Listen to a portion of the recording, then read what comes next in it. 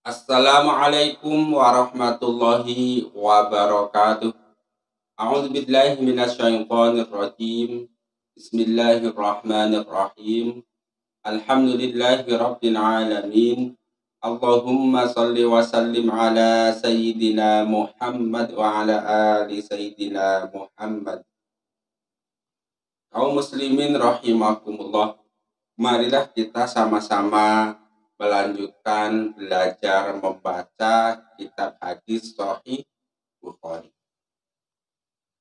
Kitab hadis Sahih Bukhari itu terdiri dari 97 kitab. Kitab pertama, kitab kedua, kitab ketiga, dan seterusnya. Nah, kita sudah sampai pada kitab yang kedua, yaitu kitab kitab iman ini terdiri dari 42 bab pertama, bab kedua, bab ketiga, dan Nah, kali ini kita itu sampai pada bab ke-11 yaitu bab ke-11 berisi hanya satu hadis. Kaum muslimin rahimakumullah Mari kita sama-sama belajar melanjutkan membaca kitab Sahih Bukhari, kitab iman bab ke-11 tentang bayat para sahabat kepada Rasulullah Shallallahu Nah, bab ke-11 ini hanya berisi satu hadis, yaitu hadis ke-17 yang berbunyi matanya ini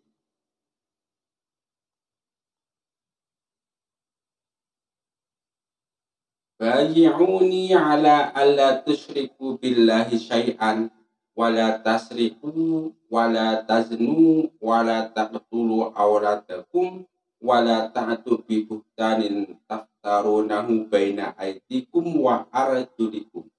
Wala ta'su fi ma'rufin. Waman wafa minkum fa ajruhu 'ala Allahi wa man asaba min dzalika syai'an fa'uqiba fid dunya fa huwa kafaratul lah wa man asaba min dzalika syai'an tsumma satarahu Allahu fa huwa ila Allah in syaa'a afa anhu wa in syaa'a aqabahu fa bayanahu ala dzalik pada hadis ini Rasulullah Shallallahu Alaihi Wasallam membaiat para sahabat. Apa itu baiat? Kira-kira begitu kan? Baiat bayat itu semacam janji setia untuk tidak melaksanakan sesuatu atau untuk melaksanakan pada hadis ini kira-kira begini Rasulullah itu bersabda kalian berjanjilah kepadaku untuk satu tidak menyekutukan Allah Subhanahu wa taala, yang kedua tidak mencuri, yang ketiga tidak berzina, yang keempat, tidak membunuh anak-anak kalian. Yang kelima, tidak berdusta yang membuat kalian bercerai-berai, berpecah belah. Dan yang keenam, tidak maksiat secara ma'ruf. Tidak mengingkari kebaikan atau kemaharufan. Lalu nah, barang siapa yang bisa melaksanakan enam janji tersebut, maka Allah yang akan membalas kalian. Tetapi kalau kalian melanggar salah satu atau semua enam hal tersebut, maka apabila kalian disiksa di dunia, maka siksa apabila kalian dihukum di dunia, maka hukuman tersebut menjadi kifarat bagi kalian. Tetapi kalau di dunia kalian tidak dihukum dengan kata lain Allah tutupi maksiat yang kalian lakukan, maka nanti di akhirat terserah Allah Subhanahu wa taala. Kalau Allah berkehendak maka Dia akan mengampunimu dan apabila Allah berkehendak maka Dia akan mengazab. Kaum muslimin rahimakumullah dengan kata lain hadis ini itu mengandung enam. Yang pertama, itu adalah perintah untuk tidak menyekutukan Allah Subhanahu wa taala. Yang kedua tidak mencuri, yang ketiga tidak berzina, yang keempat tidak membunuh anak-anak, tentu termasuk yang dewasa. Yang kelima tidak berdusta dan yang keenam tidak maksiat terhadap para makhluk. Dengan kata lain, kalau diperintahkan kebaikan melaksanakan.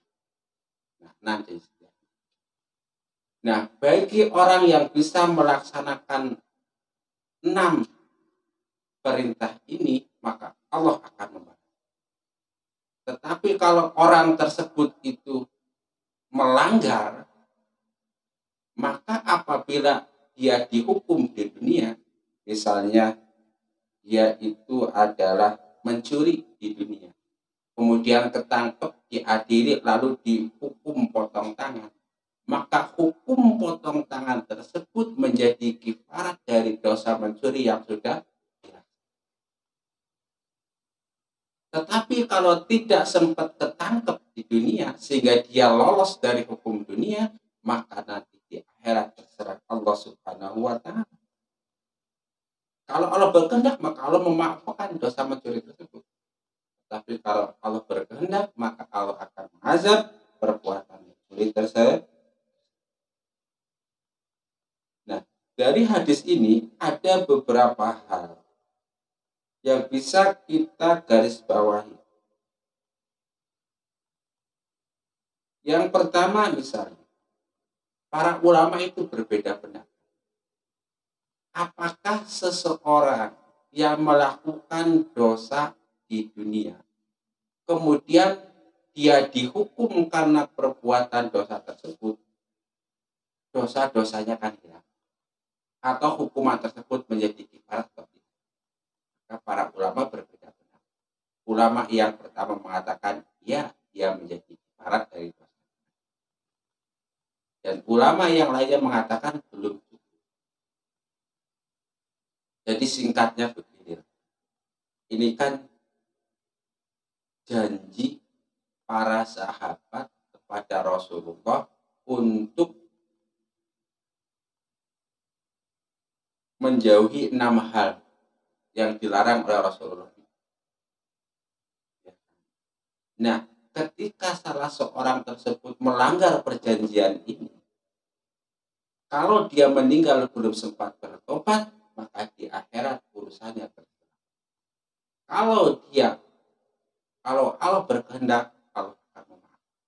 Tetapi kalau Allah tidak berkehendak, dia akan kemudian para mufasir atau para syarah syarah ahli hadis atau para ulama mengecualikan bahwa yang dimaksud itu adalah dosa selain karena kalau dosanya adalah dosa sirik kemudian meninggal dalam keadaan musyrik maka Allah Subhanahu wa taala tidak akan mengampuni. Akhirnya kita sama-sama berdoa mudah-mudahan kita dijauhkan oleh Allah Subhanahu wa taala dari dosa syirik. Allahumma amin. Dari dosa mencuri Allahumma amin. Dari dosa zina Allahumma amin. Dari dosa membunuh Allahumma kemudian dari dosa berbohong dan yang keenam itu dari tidak taat kepada Rasulullah tidak taat kepada para pemimpin yang memerintahkan kebaikan